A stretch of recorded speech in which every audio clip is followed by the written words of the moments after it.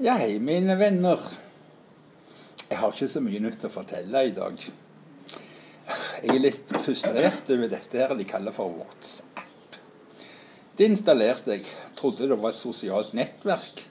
Fant liksom ingen uh, muligheter til å importere noen venner, så jeg anså det der for å være temmelig uinteressante greier.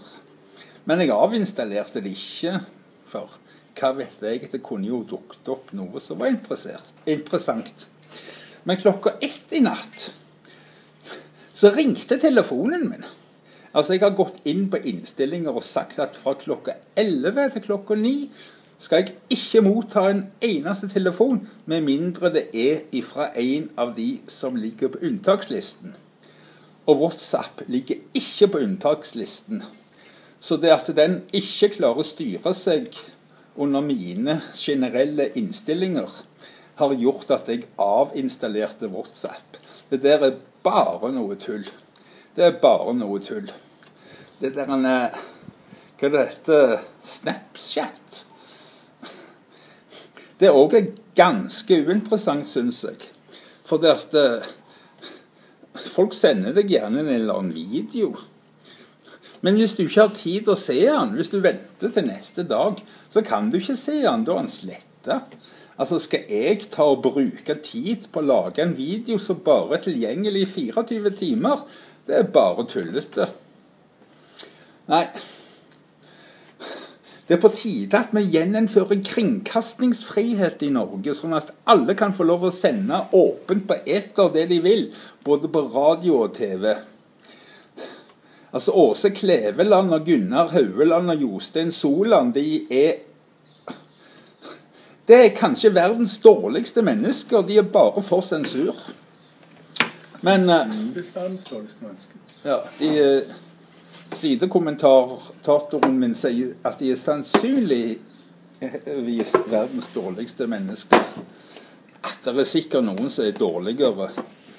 Men ikke så har hatt så jævla dårlig påvirkning for livet mitt og for kulturlivet i Stavanger. Altså, Husker dere hva hun sa, hun uh, Mari Vik på Galleri Koloritten? Hun sa at det er ingenting som har vært viktigere for kulturlivet i Stavanger enn ETV. Det sa hun. Ja, det var Mari Vik. Jeg er lei av alt. Men uh, det er mye god mat her i uh, Merida, i det minste. Men jeg er så drittlei Facebook og Internett og alt at jeg kan ikke få sagt det. Det er jo bare en tiljubling av Arbeiderpartiet og det faenskapet de holder på med. Men altså, er Høyre bedre? Nei. Nei, det altså, er ikke det. Nei, det er ikke bedre. For Gunnar Haueland og Jostein Faren Soland, de er Høyre-folk bare så mye dere vet det. Altså, Det er ikke bare Arbeiderpartiet som er mot ytringsfrihet. Alle partier er mot ytringsfrihet. Men nå gidder jeg ikke snakke om dette mer. Jeg snakket så vidt, eller begynte å snakke om tapa før uh, Altså, Easy og Pili vant årets taperfestival, og det er verdens beste tapa. Ja, vel fortjent. Vel fortjent at de vant.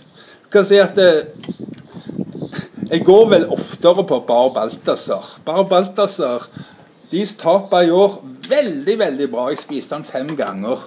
Skikkelig mettende. Men uh, Easy og Pili er mer gourmet. Så det var veldig, veldig velfortjent. Og så, før vi starter videoen, bare si fuck you alle som støtter Åse jævla Kleveland. Altså, Hun må rett og slett fratas den der uh, misforståelsen som kongen gjorde. Altså, Fortjenestemedaljen for å ha ødelagt kultur-TV i Norge, det er jo hedenskap fullt ut, som Gustav Rege ville ha sagt det.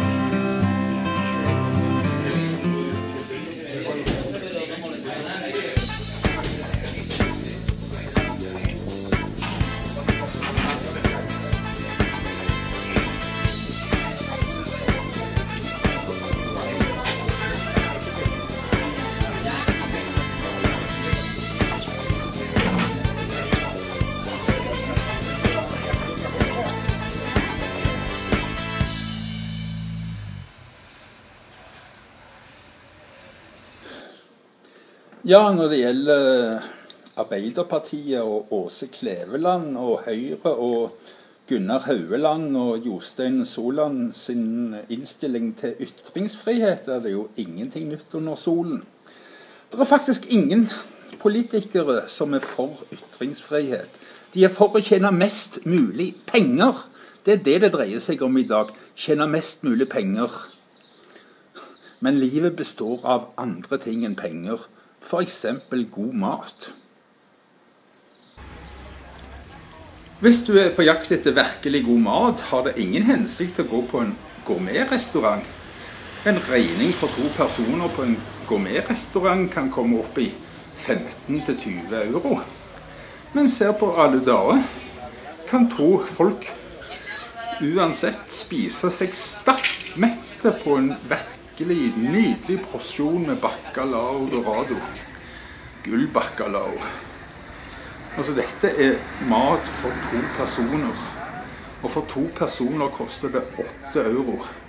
Så slutt å gå på disse dyre gourmetrestaurantene. Gå på Aludae og del en kjempeporsjon med bacalao dorado. Så koster hele middagen deg bare fire euro. Du får det rett og slett ikke noe særlig bedre enn det, altså.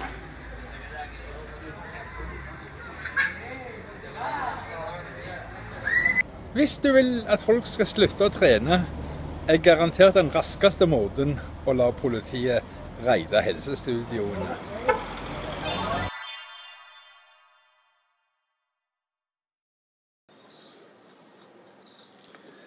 Er det da noe parti det går an å stole på? De har vist seg å svikte, de aller fleste. Mange trodde jo på Miljøpartiet De Grønne. Men folk har gitt opp troen på det, da, for det er jo ren og pur galskap. Det grenser jo på nesten terrorisme, det de holder på med. Så Miljøpartiet De Grønne ligger heldigvis langt under sperregrensen nå, sammen med SV. Jeg skulle bare ønske at Arbeiderpartiet og Høyre òg fant settes under sperregrensen. Kanskje det eneste håpet for Norge er Piratpartiet. Jeg tror faktisk det. Piratpartiet er de eneste som ennå ikke har bedreven bedriten politikk, i alle fall. Får nesten håpe at de ikke kommer inn på Stortinget. For alle partier vil vel før eller siden gjøre noe faenskap. Men til nå er partiet Piratpartiet det eneste partiet det går an å stole på. Så husk det til valget. Stem Piratpartiet.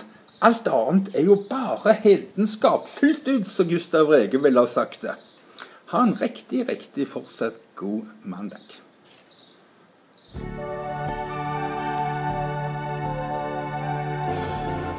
If you don't have any art, you're pretty much lost.